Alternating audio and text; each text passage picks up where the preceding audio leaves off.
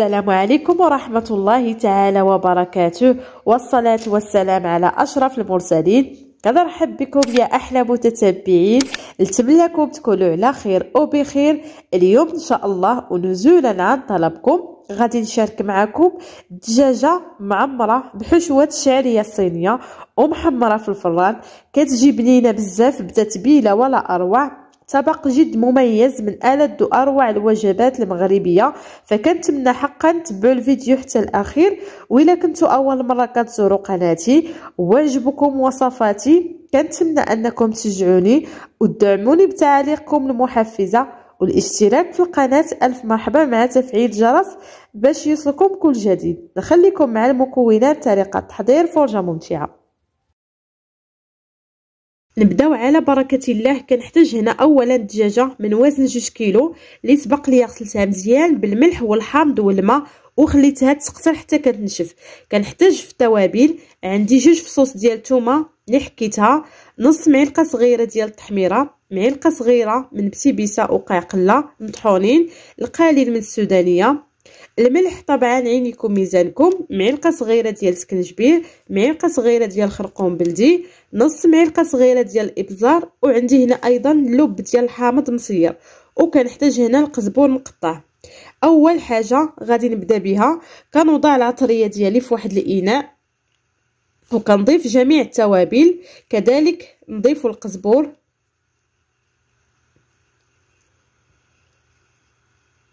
غادي نزيد جوج معالق كبار ديال الزيت زيت الزيتون أو زيت نباتية. نضيف القليل من لا موطارد نضيفو غير شوية صافي ما نكثروش حيت عندنا غير دجاجة وحدة. وغادي نخلط هاد التوابل مزيان مع بعض. ونضيف كمية قليلة من الماء فاش غادي نخلط هاد التوابل.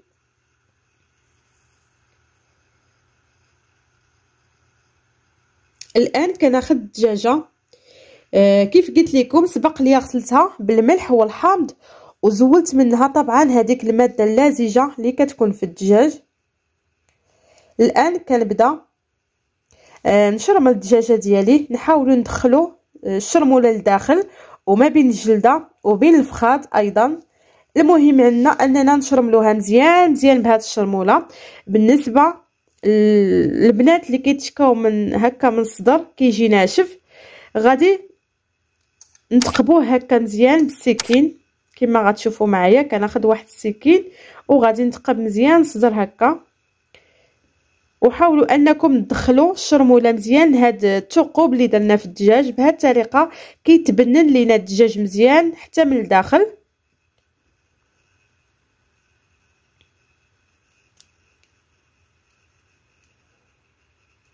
صافي بعد ما شرملتها مزيان غادي نخلي الدجاجه تشرب العطرية ونمشيو للمرحله الثانية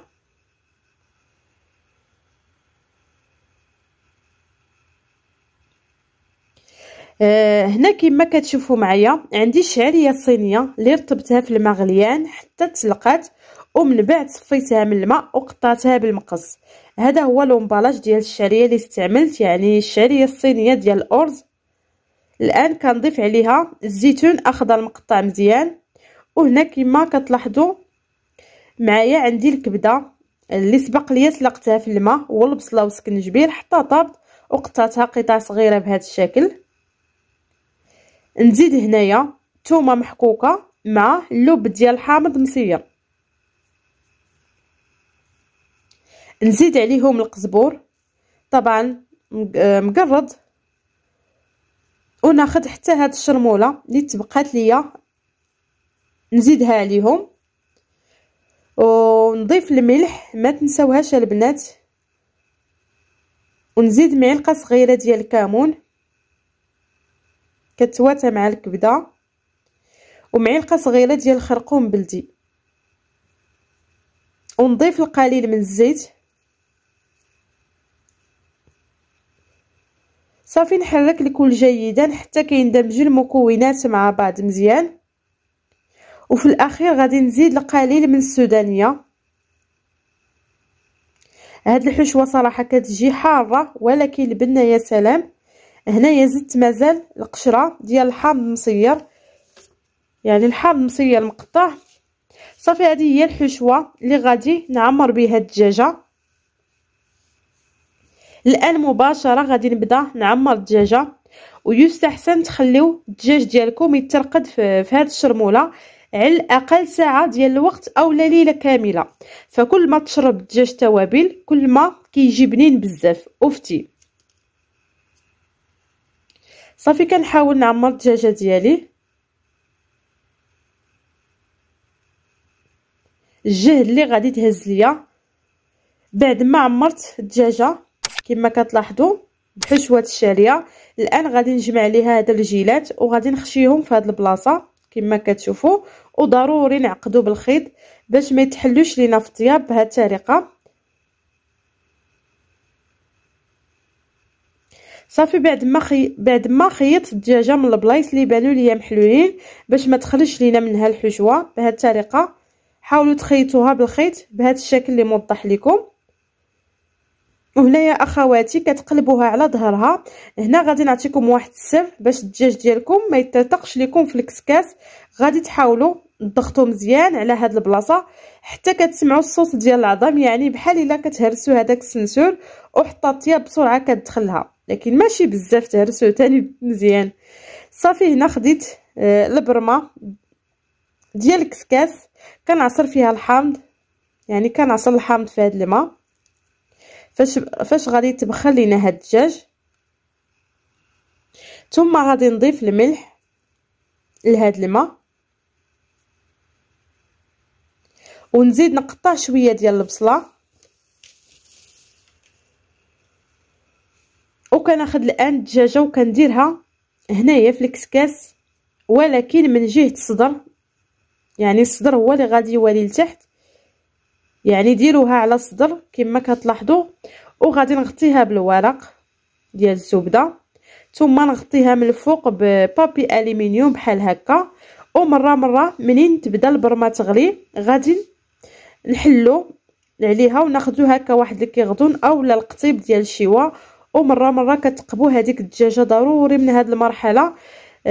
كل مره عريو على الغطاء وتبقاو تقبوها بالقطيب ديال الشيوا باش كيخرج منها هذاك الماء وحتى الطياب كيدخلها بسرعة. نتمنى تكونوا كتستافدوا معايا. صافي غادي نخلي الدجاجة ديالي حتى كطيب على خاطرها. بالنسبة للعافية تكون متوسطه ما تكونش مجهدة نهائيا باش ما يتلتقش لكم الدجاج في الكسكاس بعد ما كطيب الدجاجة بهذا الشكل كنديرها في المول الزجاجي اللي كيدخل الفران وكندهنها بالزبدة مزيان مزيان من جميع الجهات. صافي ندخلها للفران تحمر. وكيكون هذا هو الشكل النهائي ديال الدجاجة. رافقتها مع الشعرية اللي تبقات ليا والبطاطا مقلية ولاصوص ديال الدغميرة اللي حضرتها. رافقوها بأي لاصوص أو أي حشوة بغيتو نتوما. صراحة الدجاج كيجي صحي ولذيذ. والله ما تشبعوش منه. اللحم كتجي فتية وطايبة. نتمنى أي مبتدئة تجرب هذه الوصفة لعائلتها الصغيرة. طبق لذيذ ورائع. بالنسبة للدجاج راه كيجي طايب حتى من الداخل. وفتي فقط تبعوا المراحل كما شفتوها معايا. أه وصلنا لنهاية الفيديو. شكرا دائما على المتابعة. نتلاقاو في وصفه القادمة بإذن الله. كانت معكم حبيبة. مع السلامة.